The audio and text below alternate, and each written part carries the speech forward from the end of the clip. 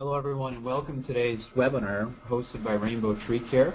My name is Shawn Bernick and today we're going to be speaking on soil applied insecticides and their use in the tree care industry.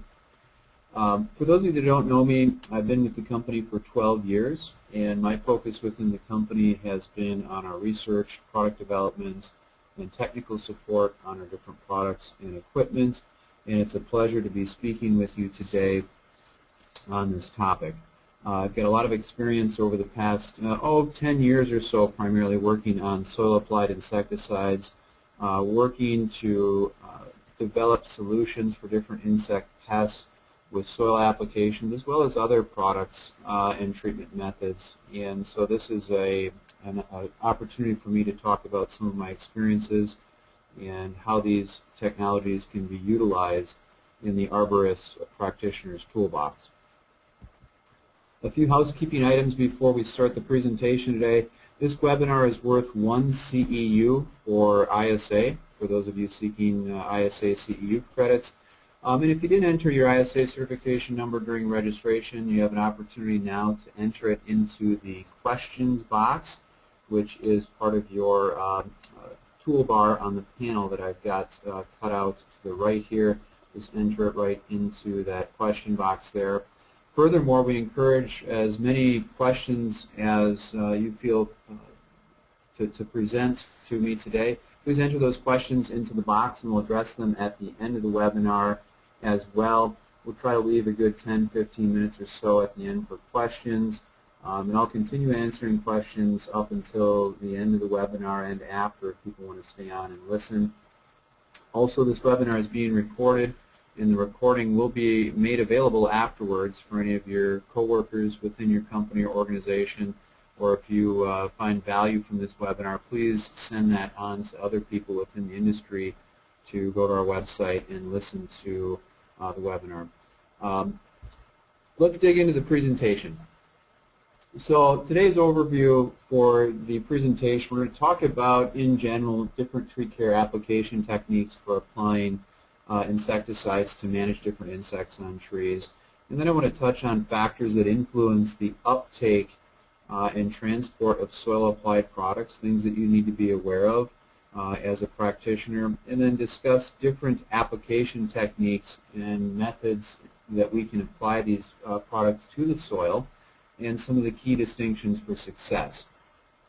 And then for the last third of the presentation, we'll talk about some of the specific soil-applied insecticides that Rainbow works with and can provide to you uh, some of the specific insect management protocols. If we look at, in general, the ways in which we can apply different uh, products to trees, they really fall into two different categories. We have our systemic treatments and then we have our non-systemic treatments.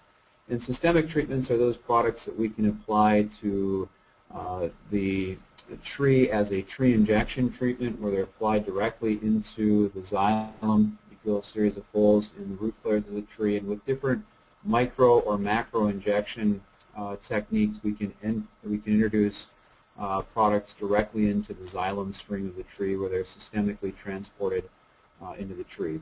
We can also systemically treat trees using soil applications, which will be the focus of our presentation today. Uh, two categories within our soil applications. We have the soil drench method and the soil injection method.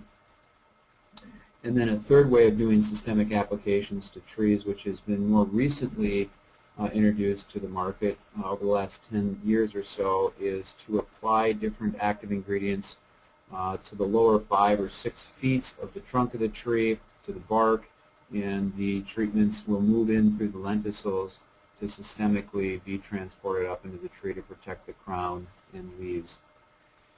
Non-systemic applications, which include our foliar sprays, if we got different leaf-feeding insects or foliar diseases, we can apply a spray to protect the leaves.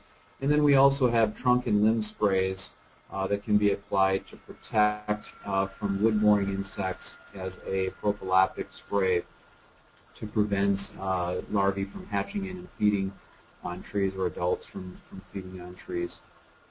So those are the different ways in which uh, products are applied to trees uh, in our industry. as I mentioned today, the focus is on soil applied products in arboriculture.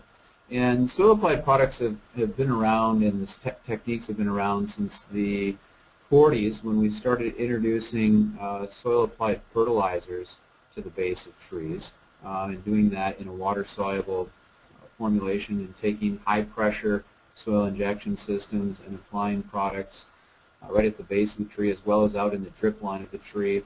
Um, and so that was the first soil applied treatments that were applied to trees. And then also we have additional treatments today that are applied as soil amendments, whether it's mycorrhizae or biostimulants.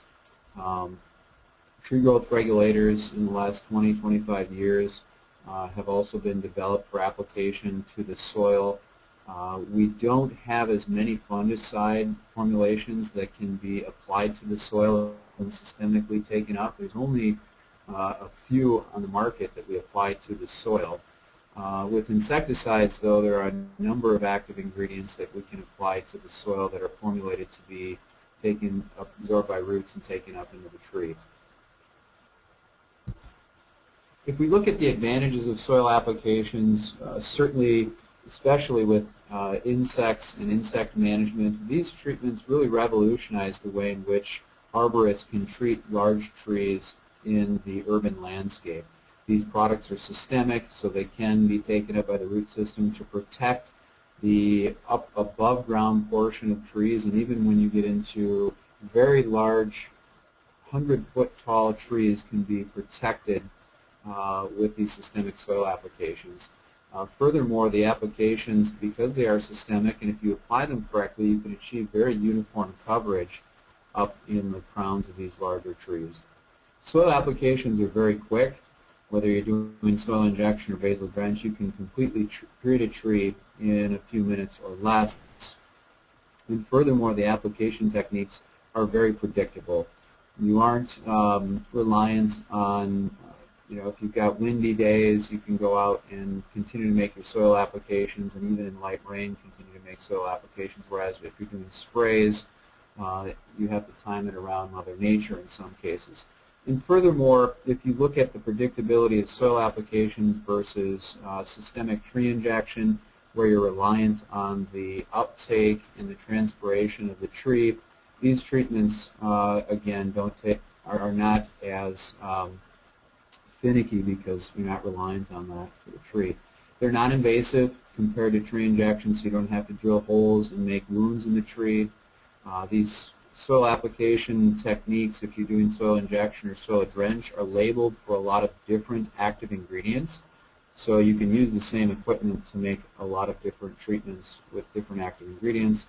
And you're not doing any spraying, so there's no drift involved with these soil applications. If we look at um, how they work on the tree, so these systemic applications are applied right at the base of the tree, typically with insecticides. They're absorbed by the roots and then transported in the sap stream up into the above ground parts of the tree. Uh, most systemic pesticides for tree care are mobile in the xylem tissue.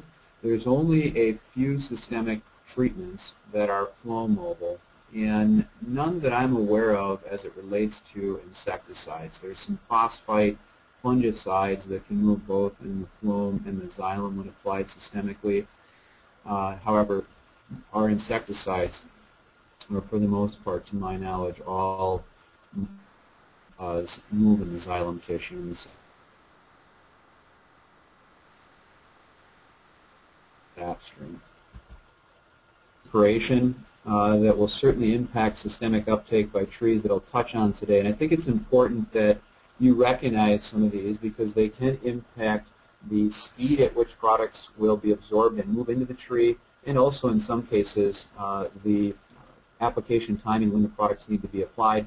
And also there could be supplemental uh, requirements such as irrigation and other things that you as a practitioner can do to enhance the uptake and movement of some of these systemically applied treatments. First of all, there's some environmental conditions such as temperature, humidity that will impact uh, transpiration on trees. The tree species itself, whether they're ring porous, diffuse porous, or they have tracheids like inner conifers, Time of year and the growth rate is going to impact the transpiration. The size of tree, the health of the tree, and certainly the soil moisture.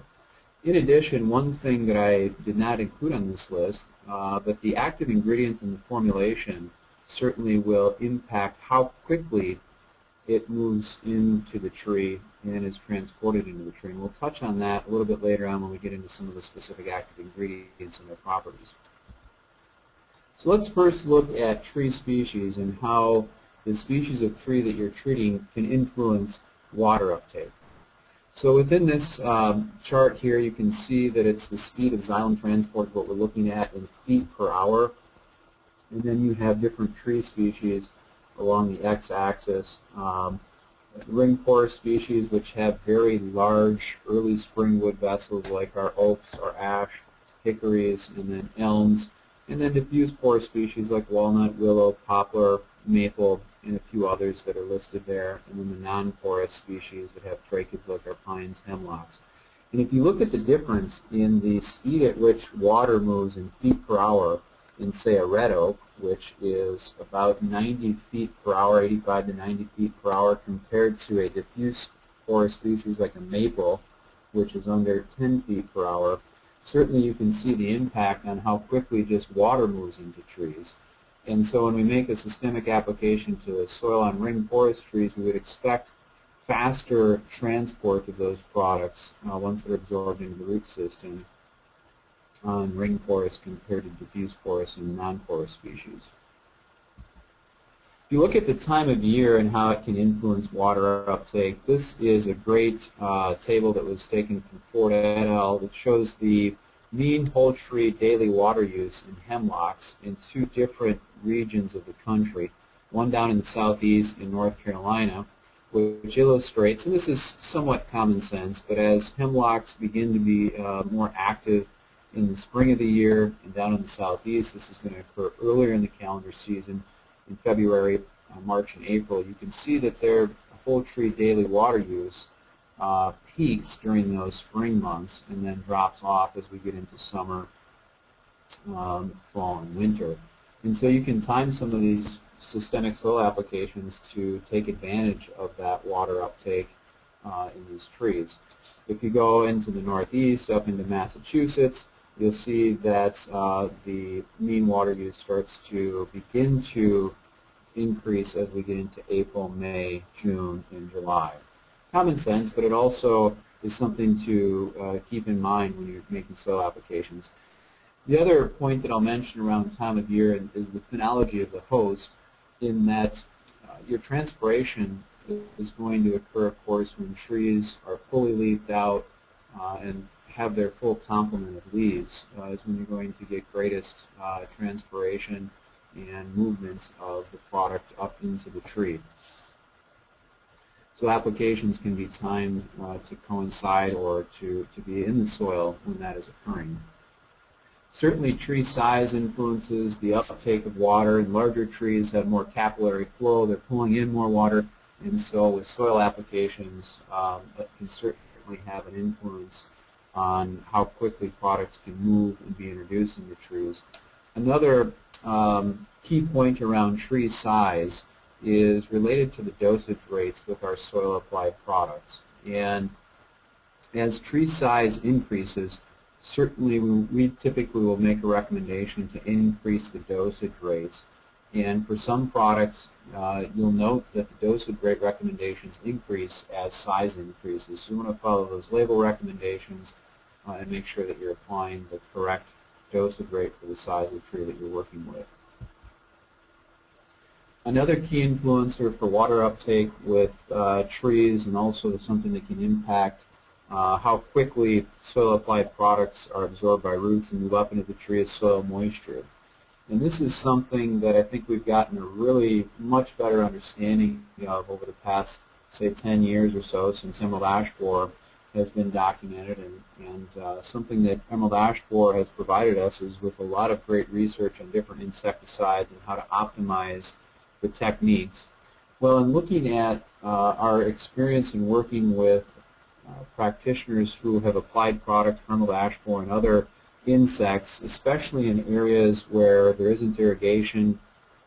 We have seen enhanced efficacy with treatments that are applied to soils that are irrigated, and furthermore, we've seen uh, years in which we've had drought, especially on municipal trees that are not irrigated, we can see that that has an impact on the effectiveness of some of these soil applied treatments.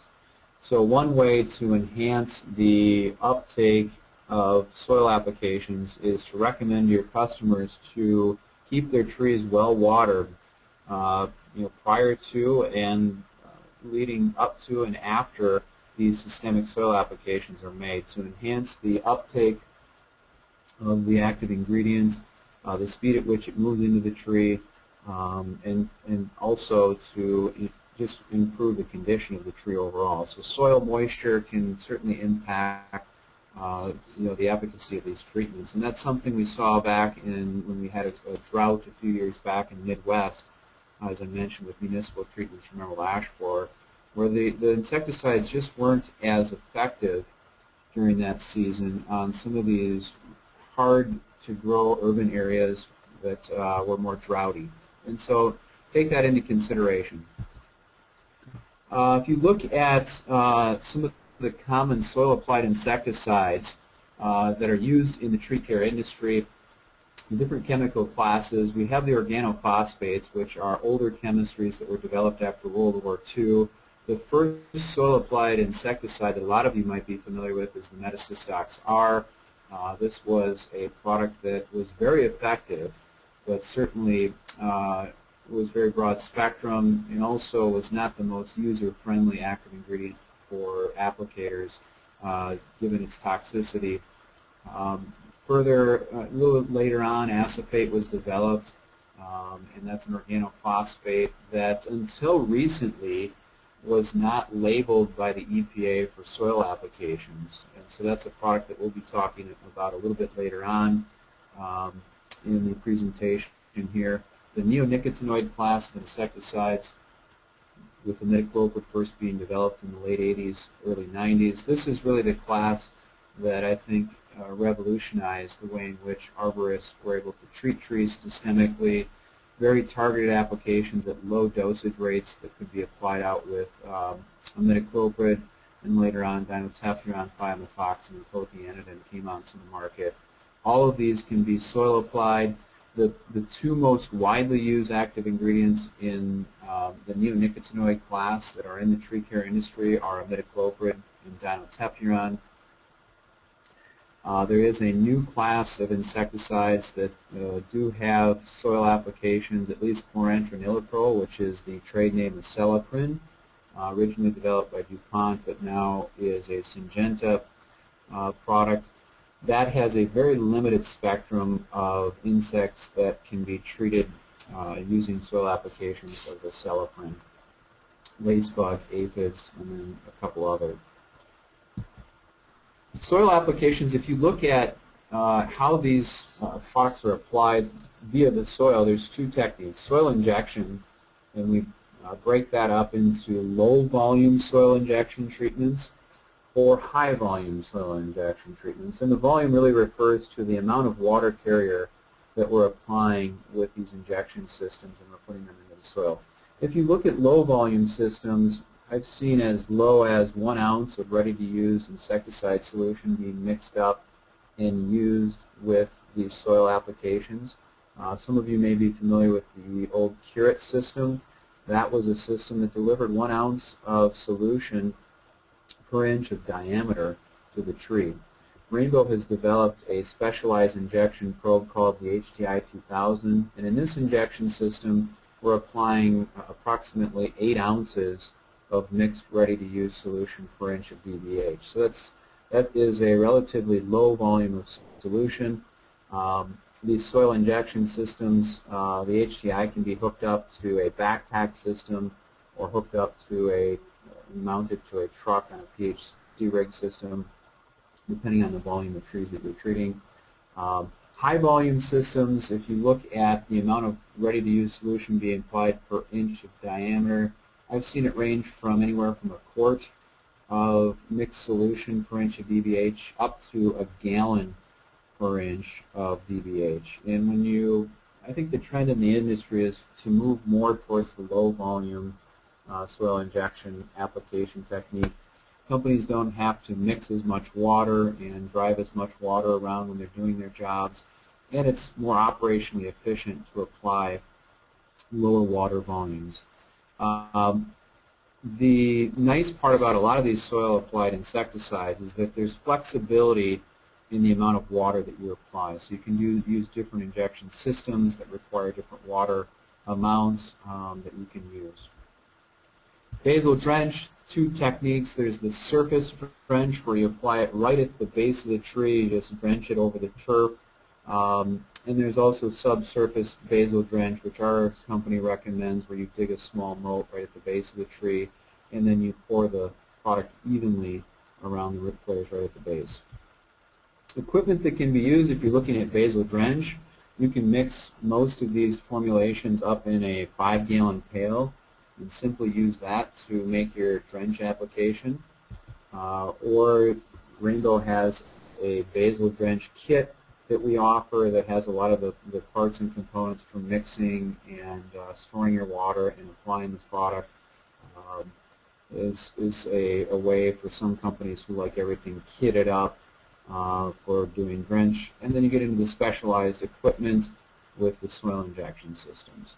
I would say if you're a company that is going to be doing a high volume of soil applications, you might look at getting in a soil injection system, whether it's a backpack system that's connected to a HTI 2000 like what we carry, um, or a system that hooks up to your spray rig. Uh, for your hydraulic spray rig, you can certainly, uh, with right, right connections, hook up a soil injection probe to that for making soil applications. The investment in the equipment uh, can very quickly pay off in the labor savings and the time that you save when doing soil injection versus basal drench. Additional keys for success when making these soil applications. Um, you'll note that on a lot of the older soil uh, applied labels for products that uh, they recommend either making the applications right at the base of the tree or making them uh, in a grid pattern out in the drip line of the tree. And you'll see that with the imidacloprid and dinotefuran and some of the other soil uh, labels that are out there. And those are still recommendations that are out there. Again, more of the recent research has shown that applications made right at the base of the tree can actually provide improved efficacy on things like emerald ash borer and other insects um, that are very difficult to control versus making applications out into the drip line of the tree. And really, if you look at uh, the two methods, basal soil injection, when we're doing our soil injection, we recommend applying it within 18 inches of the trunk of the tree um, or right at the base with basal drench. And the reason for that is because there's a lot of fine roots that are great for absorbing these soil applied products right at the base of the tree. As you move further away from the trunk, if you apply the products in a grid pattern out of the drip line, you may or may not put those insecticides in the vicinity of a root that can absorb the product and take it up into the tree.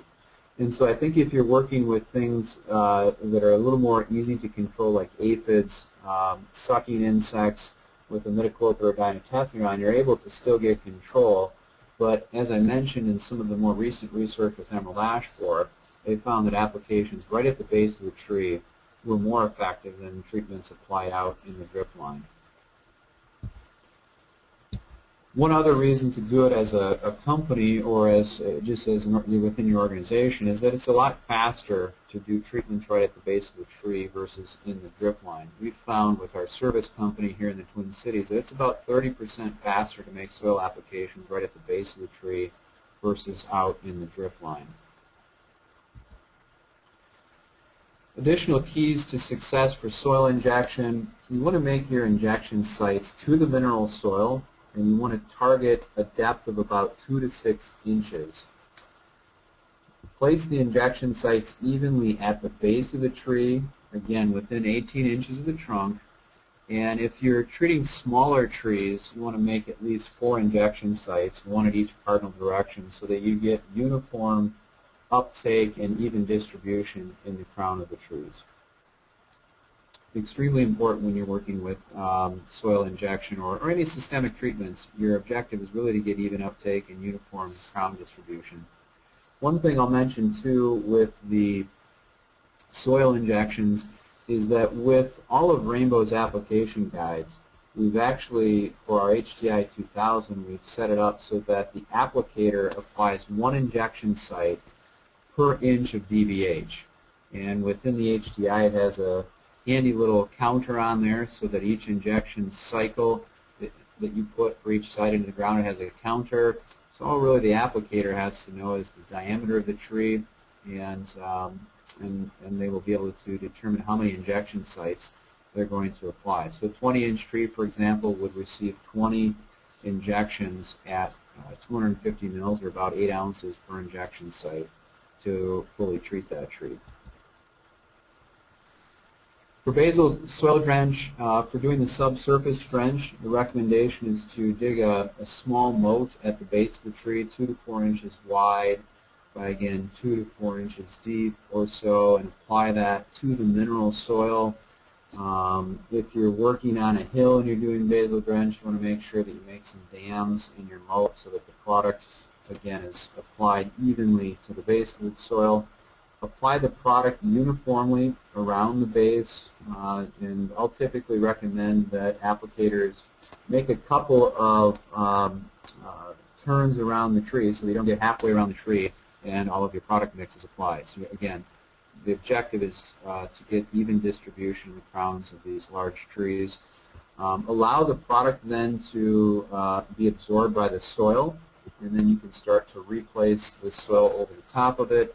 And so again, a very targeted application that's made right at the base of the tree in uh, just a few minutes or less. A couple of additional keys we mentioned targeting 2 to 6 inches deep in the mineral soil. It's really the mineral soil which is our target. So if you're working in landscapes where you've got mulch, landscape fabric, or a lot of duff right at the base of the tree, these products, will, and many of them can tightly bind to that organic matter. And so you want to apply it to the mineral soil. Uh, so you're targeting the root zone of where the roots are located in the tree. Um, and some things that if you're applying it to areas where there's rocks um, or other uh, uh, mulches that, that are right at the base of the tree, you can either remove those, push those away before you make your application, or use a soil injection probe that gets you down beneath those mulch layers. One thing that uh, Michigan State Dr. Dave Smitley had noted in some of the earlier with research on um, soil injection treatments, this was on bronze birch borer, was that in treatments where he made applications deeper than 8 inches, so in this point, uh, particular study, he actually made the treatments um, 8 inches and uh, lower in the soil profile. He noted reduced efficacy, and so we want to be careful that we're not putting the application of these soil, soil treatments below where the majority of our roots are. Remember, the upper foot of soil is what we're targeting, um, where the root, or the upper foot of soil, excuse me, is where uh, the majority of our tree roots are at. And remember, these products, while they don't move uh, very significantly in soils with 3%, 2 to 3% organic matter more, they will move some. And so if you put it past 8 inches or so, the, uh, there's an opportunity for the product to move below where the vicinity of the majority of the roots are. And then also water the area thoroughly, especially during drought, uh, both the days leading up to the application and immediately after. And with products that have a long residual in the soil like imidacloprid, uh, sustained watering throughout the growing season is what can enhance the uptake and movement of these products as well. So those are some of the key uh, success factors when making systemic applications. Now let's talk about some of the commonly used active ingredients in the industry. And we're going to focus on the three that Rainbow has in our toolbox. These are widely used active ingredients. Uh, we'll talk about our dinotefuran formulation, which is our Transtect, uh, 70WSP. We'll talk about uh, our soil applied acephate, which is Lepitect, and then we have our two soil applied imidacloprid formulations, both a liquid formulation and a WSP formulation. With these three products, you can treat up to 90-95% of the insects that you deal with as an arborist. And so the spectrum of activity of these, um, each of them have their strengths. And we'll talk about the uses for, for each of these products. But with these technologies, you can treat everything from caterpillars to sucking insects, soft scales, a number of different armored scales, wood-boring insects, um, and be very effective in using uh, these different treatments. As well as with Lepitect, the product, that product is actually effective on spider mites as well. So with these three tools in your toolbox, you've got a good opportunity to manage a lot of the common insects and even mites that you deal with. So let's talk first about um, the application methods for each of these. Um, with Xytect and Transtect, um, you can apply uh, Xytect as a soil injection, basal drench, or as a foliar spray. Um, in Transtect, you can actually also uh, treat that with uh, a basal systemic bark spray, as well as soil injection, soil drench, and as a foliar spray as well. Uh, there is research out there with imidacloprid and Xytect that suggests that it can be applied as a basal systemic bark spray, but it is not labeled for that use on uh, in, in most states. I should say check with, with your state regulatory department um, if it can be used as a basal systemic bark spray. Uh, Lepitect is labeled only for soil injection, so we can't do sprays with uh, Lepitect uh, and or drenches.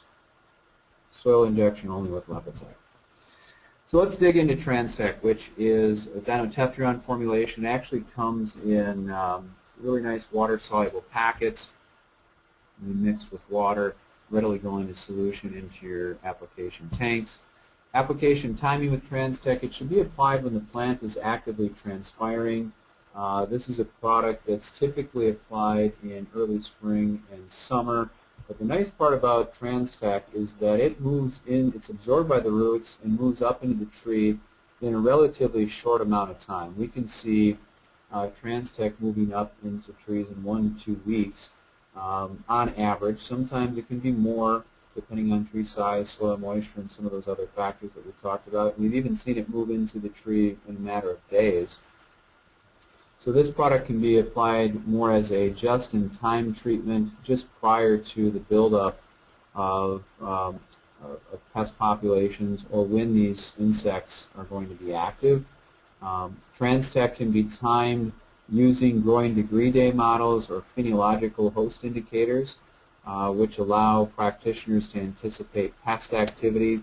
Um, we can time our treatments uh, using growing degree days, which are commonly um, compiled uh, by a lot of different university extension agencies. And these growing degree days or these host phenological indicators will coincide with specific insect life cycle stages. So if we know that, for example, aphid populations are going to be infesting uh, an oak tree, for example, in the next two to three weeks, we can go out and time our application of Transtect to occur so that the product is up into the tree in uh, toxic at toxic levels when that insect um, is going to be feeding.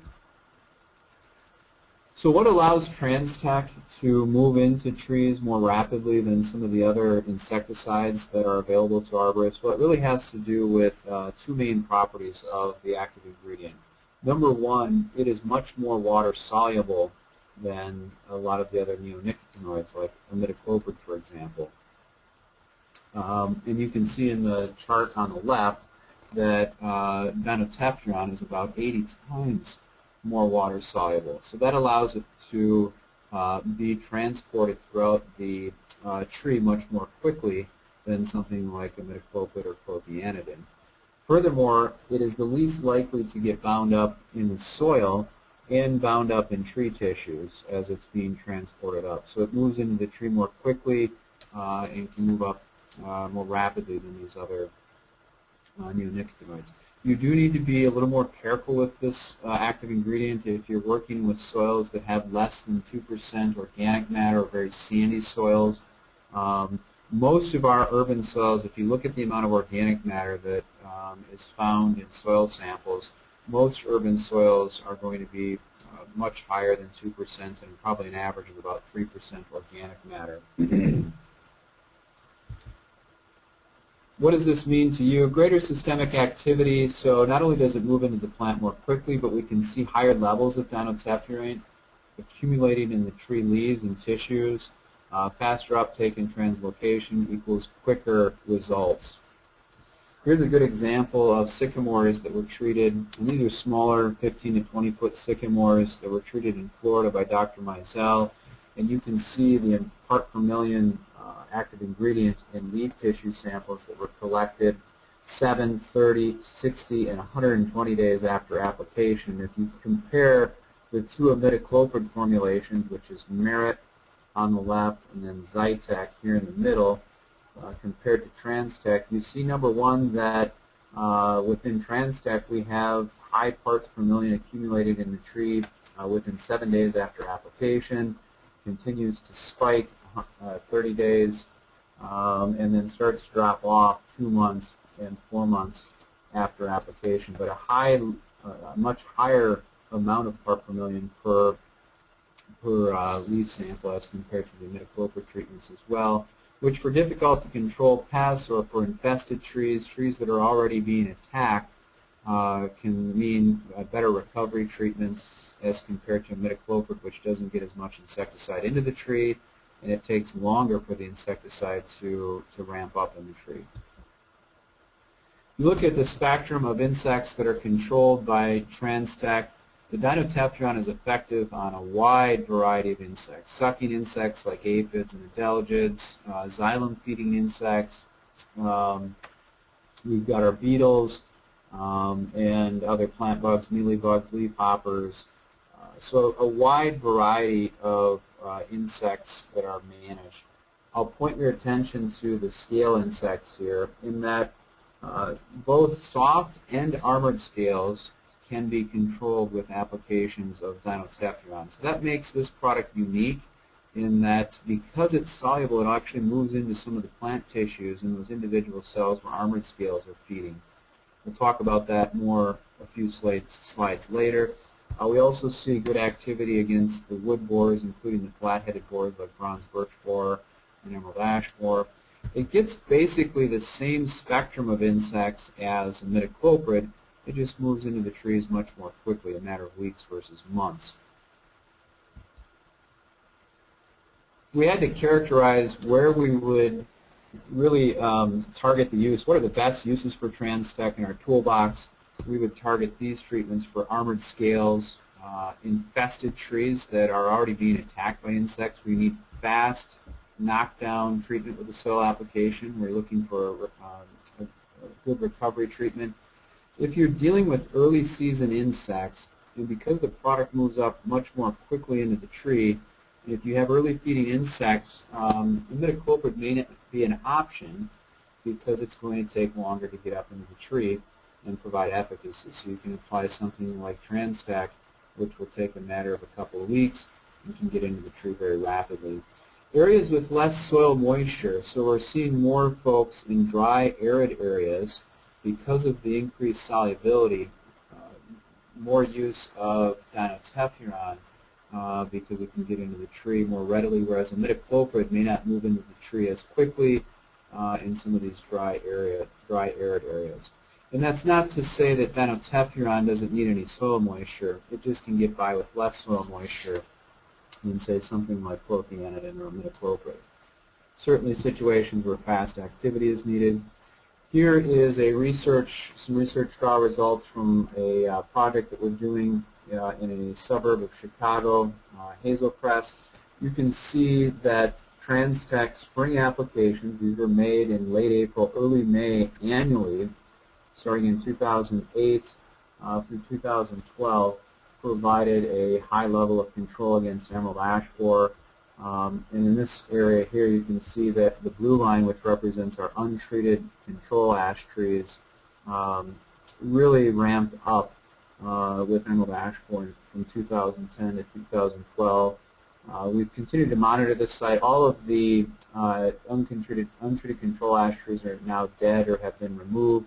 And most of the treatments here, including the Transtect spring application, have provided uh, control of, of, greater than, uh, of less than 20% uh, crown thinning and dieback, which is a good result as it relates to emerald ash borer.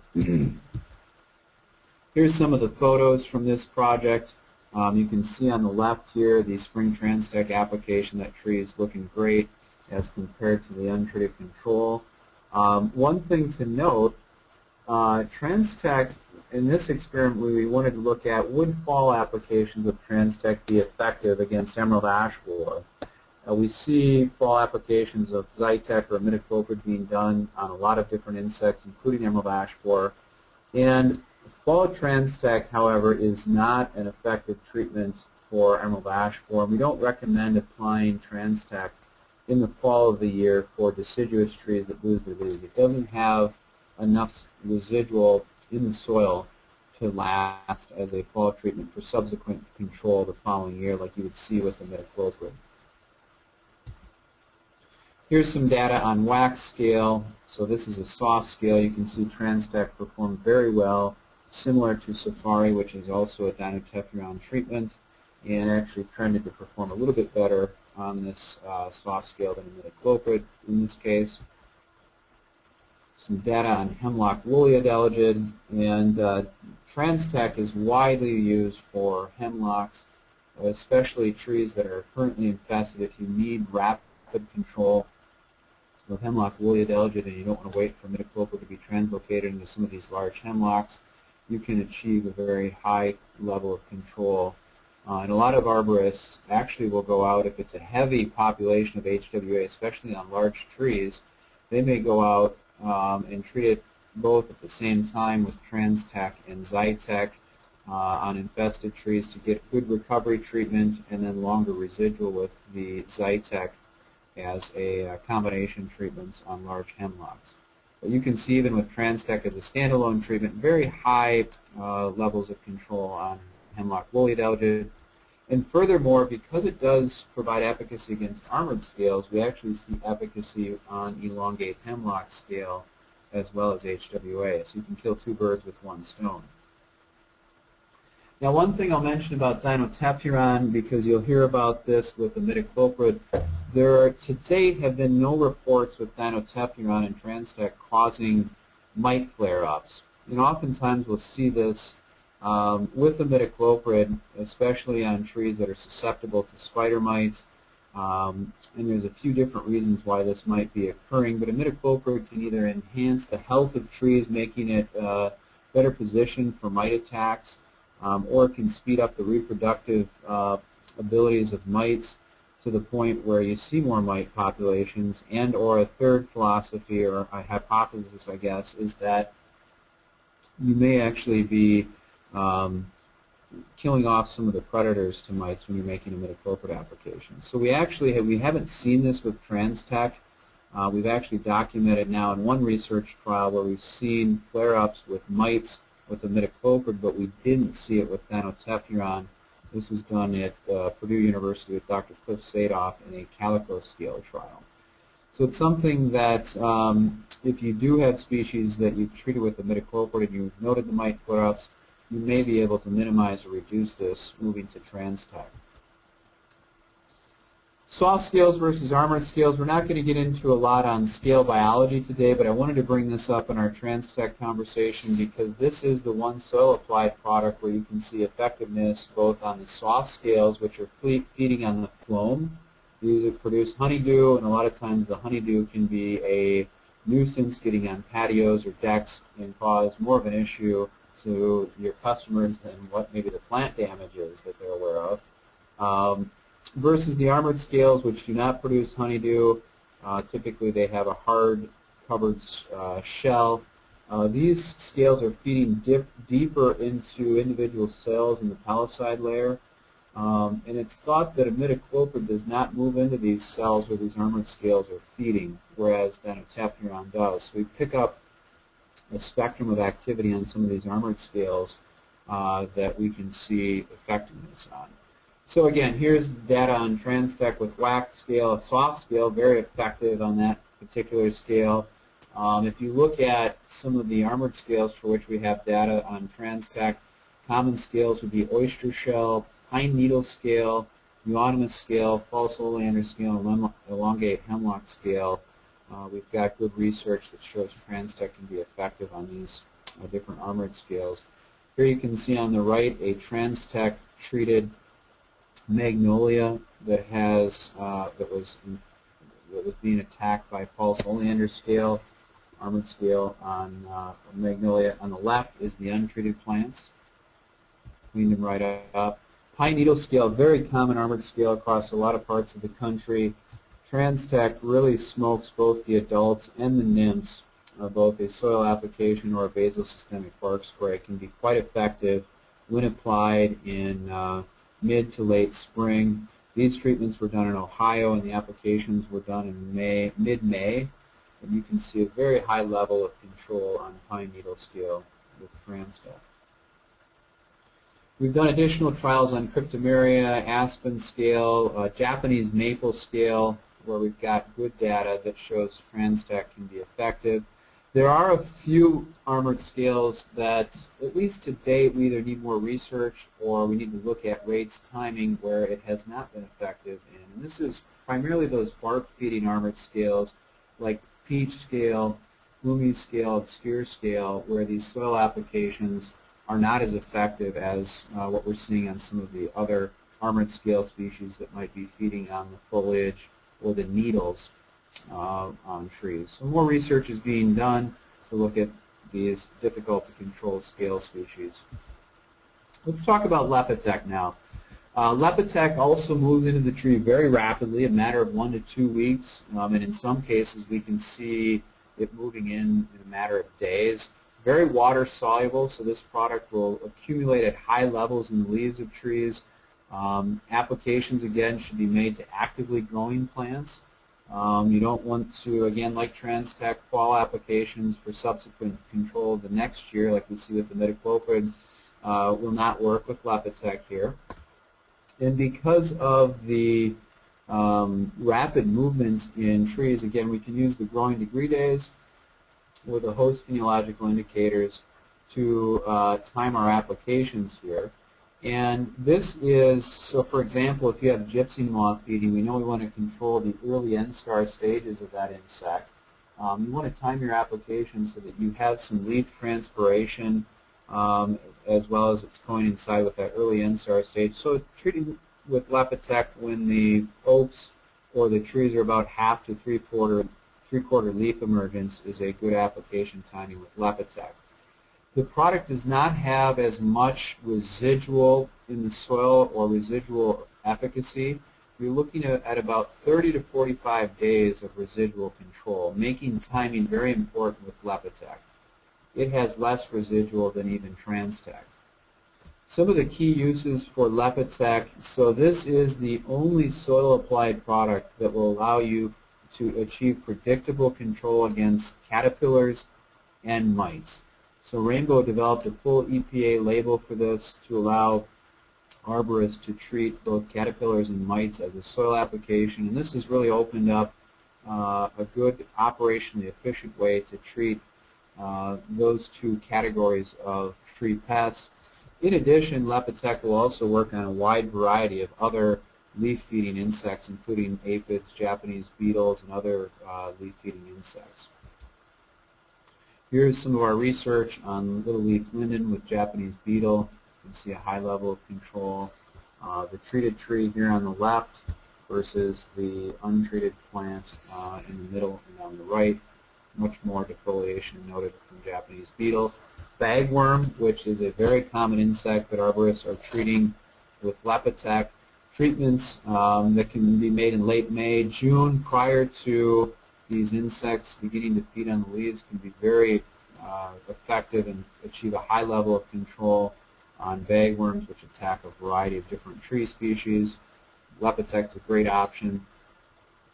We have uh, information and data on spruce spider mites, and uh, you can see here that a one-time soil injection treatment of Lepitect performed as well as Lucid, which is abamectin, and a 1% hort oil, or another common applied miticide called Forbid.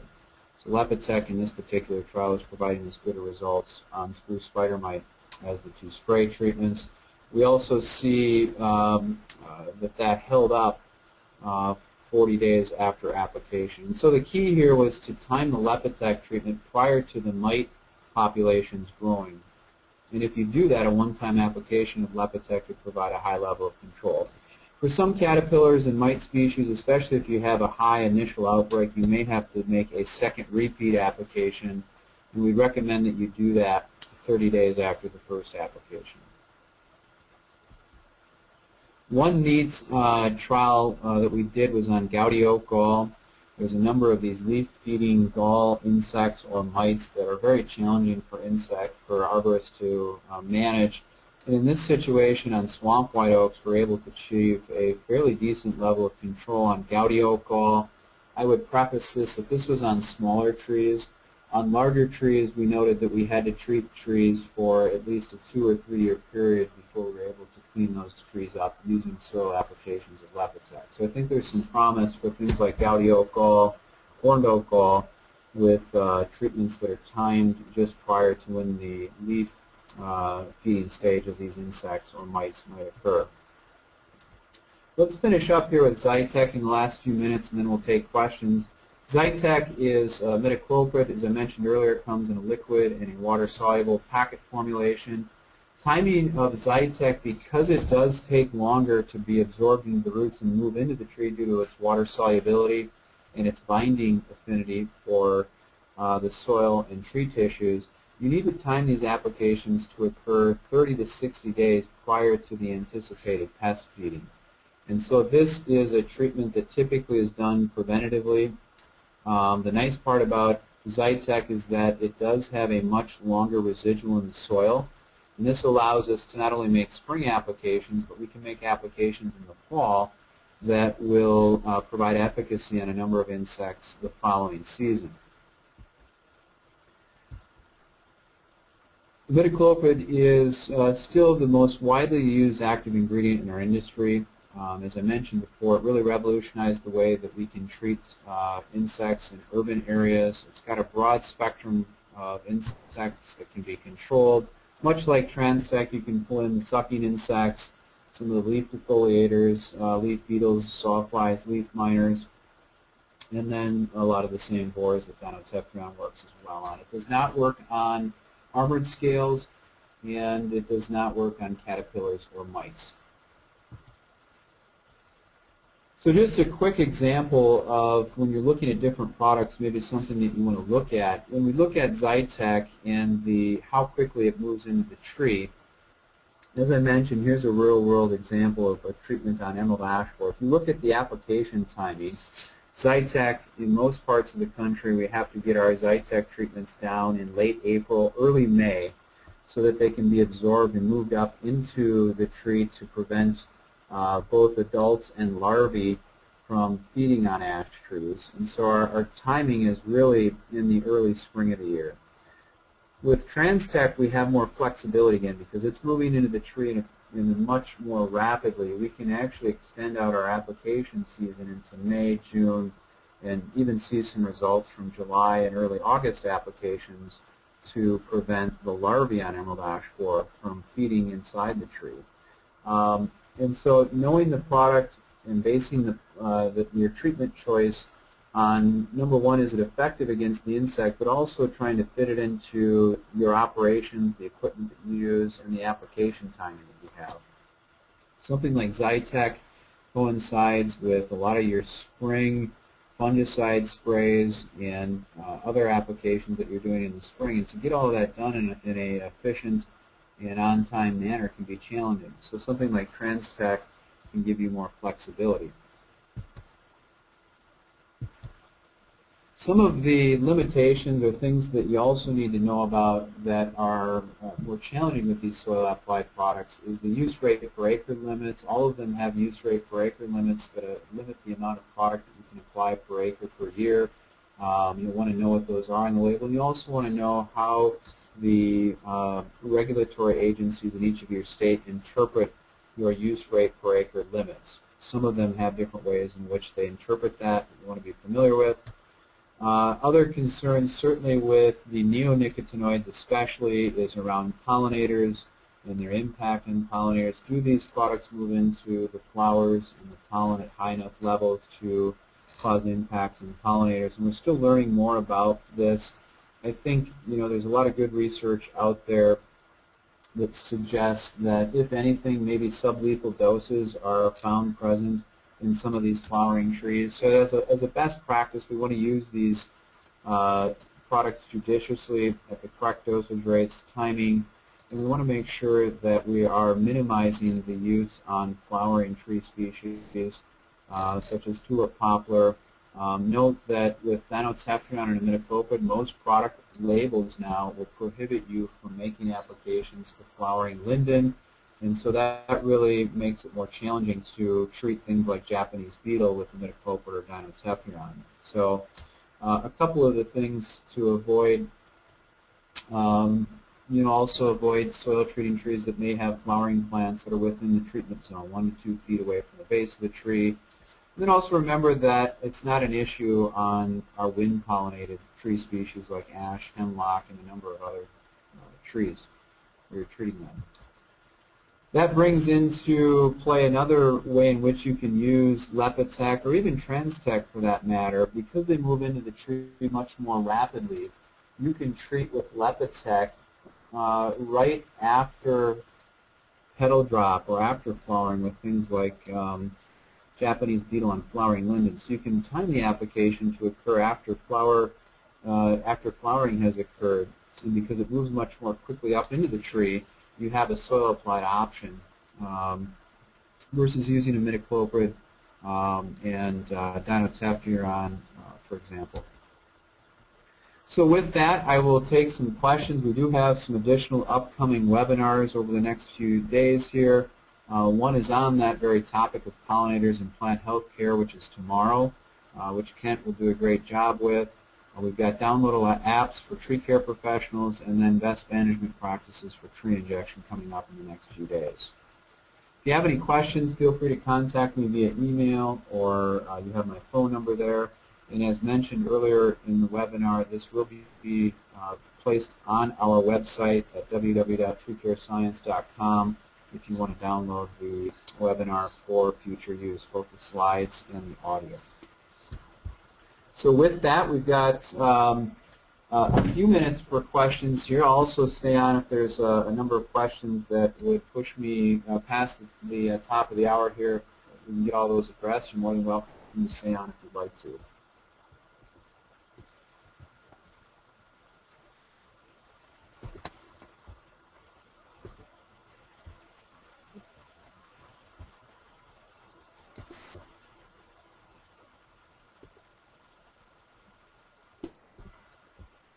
Okay.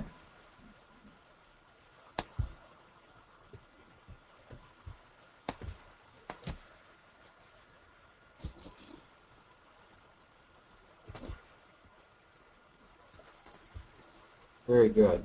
Peter's helping me get orientated with questions here. Um, so here, Kioritz backpack soil injector, what's your opinion on this device? So the Kioritz is an older Japanese uh, soil injection system. As I mentioned in the presentation, this delivers about one ounce of ready-to-use mixed solution per inch of DBH. I think it's a, a good system if you're uh, in a situation where you, you can't um, mix up a large volume of water. If you're doing remote applications in some mountainous areas, or other areas like that for maybe hemlock woolly adelgid. This could be a system that you look at using. I would say, um, I know there is research out there that shows effectiveness of uh, this system.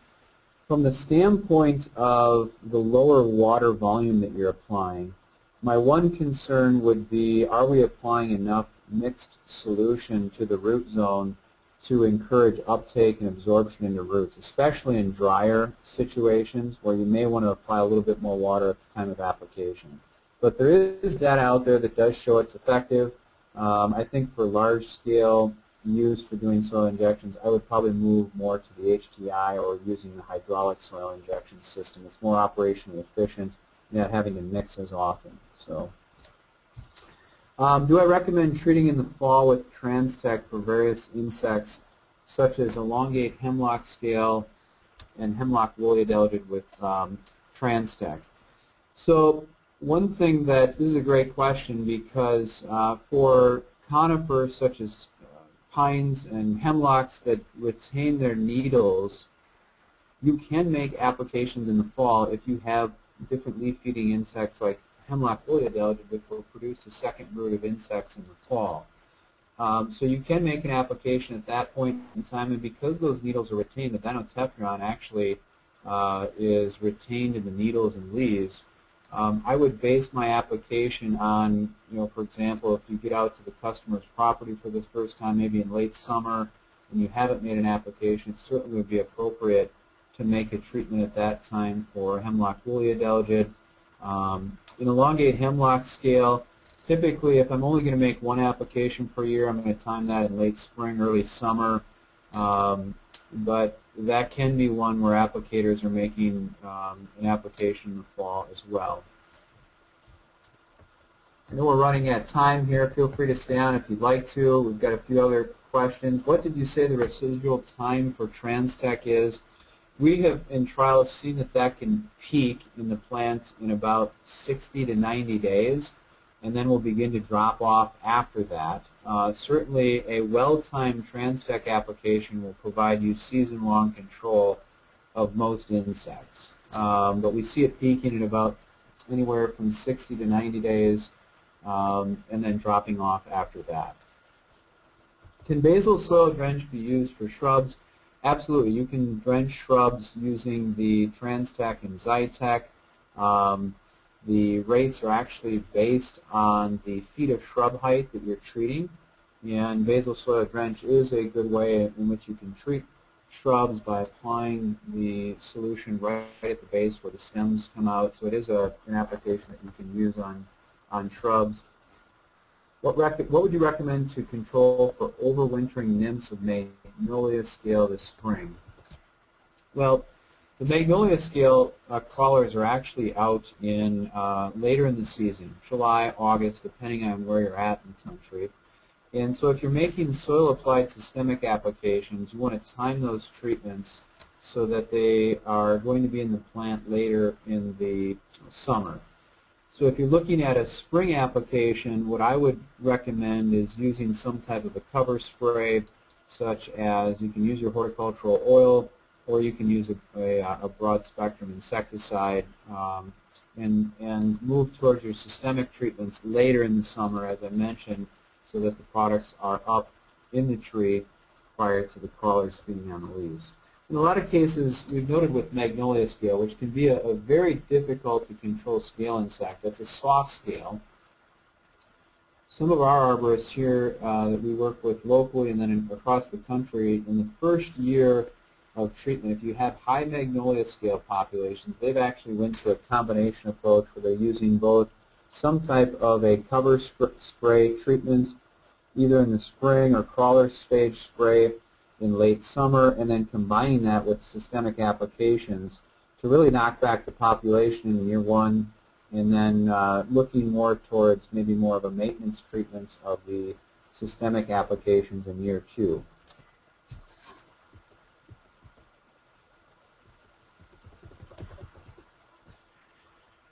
Could I show the use rates per acre slide again? That's something that I can make available, John, uh, to you with your question there. That's also available on all of the different labels, but I'll send that off to you so you have that.